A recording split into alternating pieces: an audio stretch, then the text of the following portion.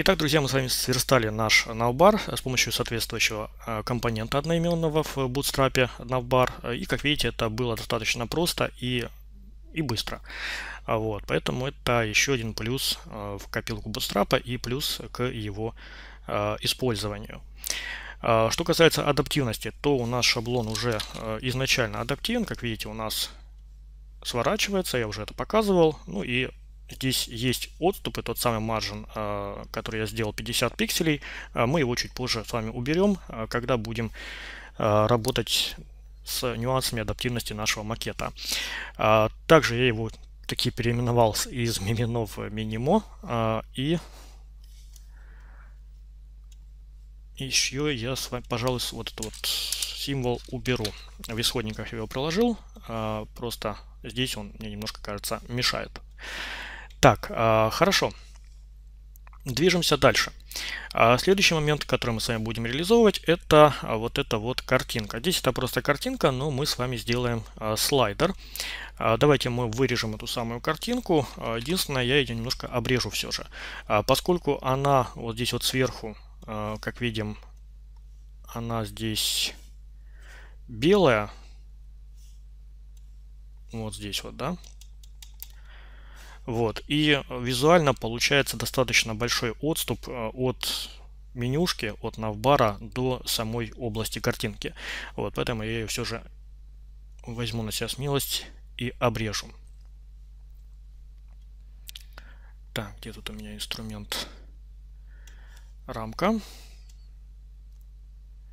Ну вот примерно так мы и поступим. А, само изображение вы также можете вырезать, а, ну а можете, а, соответственно, взять из исходников. Сохраним для веб, как JPEG.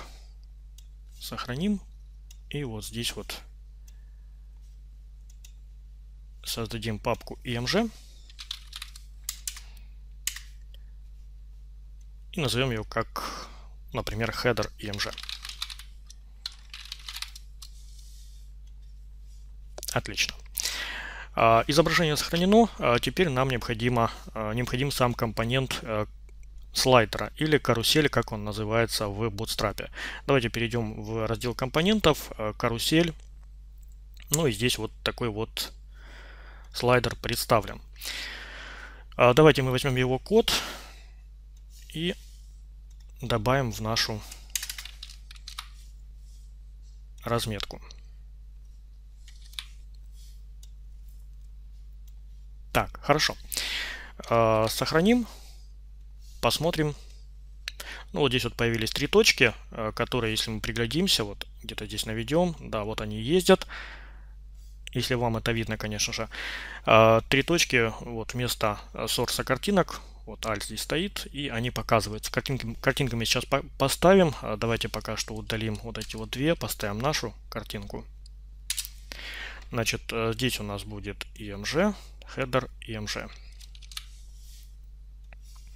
Так, вот она наша картиночка. Она занимает всю ширину. Нам это не нужно. Нам нужно, чтобы она, э, у нее были отступы. Да?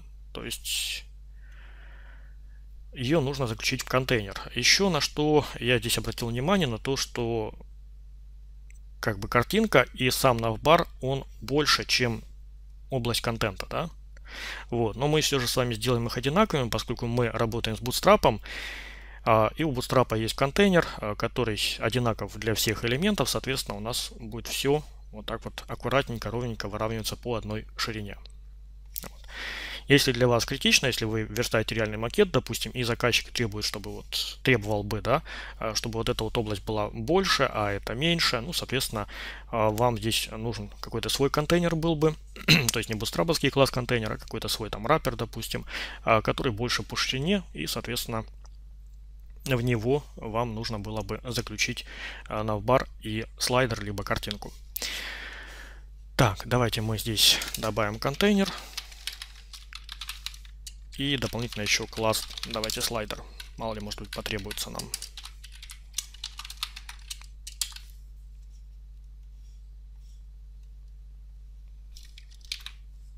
Так, замечательно. А, и чтобы было с чем работать, давайте вообще посмотрим. А, да, вот теперь у нас слайдер в контейнере. Если приглядите, здесь видно вот эти вот стрелочки. Но у нас только один слайд, и не помешает поставить еще один слайд. Давайте мы это сделаем. Возьмем сайта Lorem Pixum, подключим какое-нибудь изображение. Ну, в стилистике нашего сайта это изображение должно быть таким сереньким, поэтому возьмем такой вариант а, и посмотрим размеры нашего изображения. Значит, это 1062 на 501.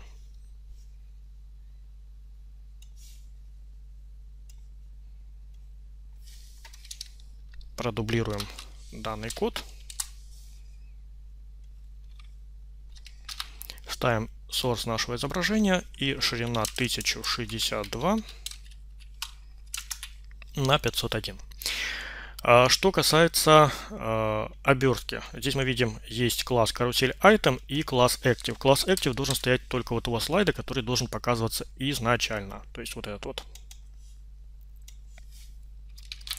Сохраним. Взглянем. Ну вот они, наши слайды крутятся. А по умолчанию они вот таким вот образом перелистываются. Мне больше нравится эффект растворения. А для того, чтобы добавить этот эффект, вот мы перейдем в подраздел Crossfade. И для того, чтобы его реализовать, достаточно добавить э, после классов э, карусель и слайд еще класс карусель Fade. Добавим его.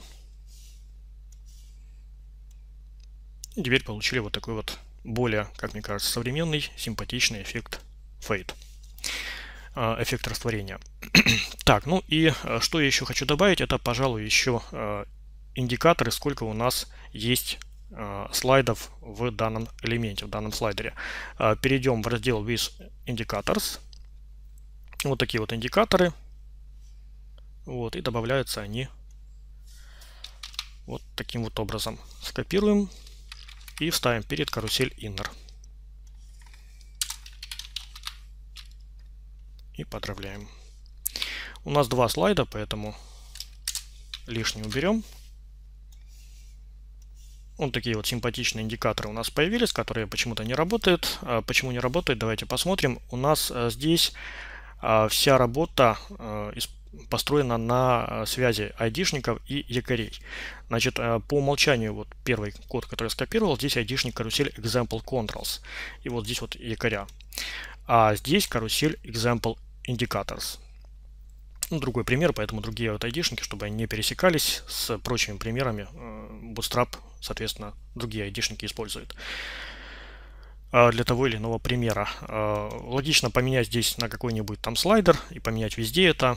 Вот, ну, давайте так и сделаем, наверное. Так. Слайдер и, соответственно, его поставить вот здесь вот и вот здесь вот.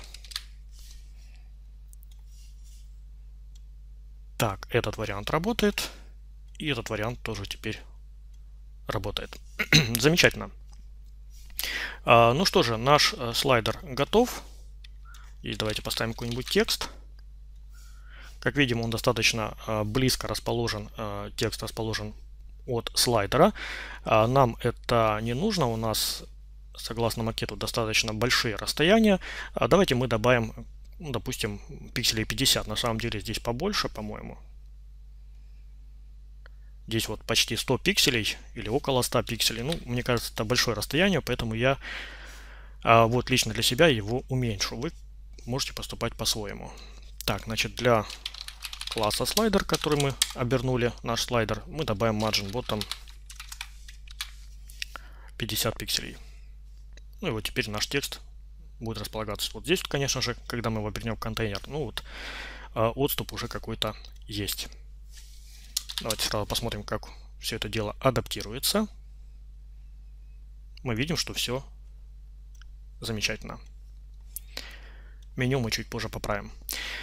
А, ну что же, Слайдер у нас готов, и как видите, реализовать его э, было достаточно просто с Bootstrap. Нам не пришлось лезть ни на какие сторонние э, сайты, э, искать какие-то там другие слайдеры типа All карусель, Niva слайдер и так далее, их достаточно много. Хотя, если ваш проект требует другого слайдера, или вы привыкли работать с другим слайдером и вам нравится что-то другое, то никто не мешает вам подключить свой слайдер и использовать его вместо карусели Bootstrap. Но если вам без разницы, в принципе, э, то, как видите, Bootstrap э, предлагает данный компонент и пользоваться им достаточно просто и удобно.